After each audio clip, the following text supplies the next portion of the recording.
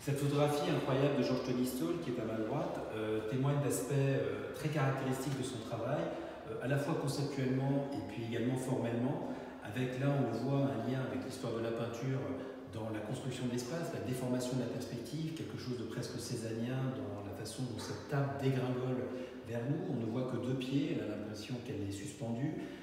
cette déformation aussi du corps, presque maniériste, hein, du fait du point de vue, avec ce pied monumental au premier plan. Et cet homme qui monte sur cette table et qui est finalement une prise de vue qui résulte d'une véritable performance de la part du, modèle, mais aussi de la part de l'artiste.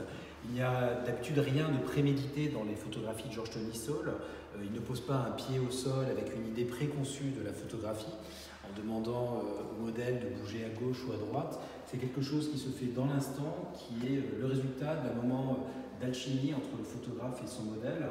Et en particulier, il y a eu plusieurs photographies faites de cet homme, escaladant cette table. Et à ce moment très précis, Georges Tonisto lui envoie quand même cette indication de regarder la forme noire qui est au mur de l'atelier et ce qui, à la fin, enregistre son profil dans le reflet de la table.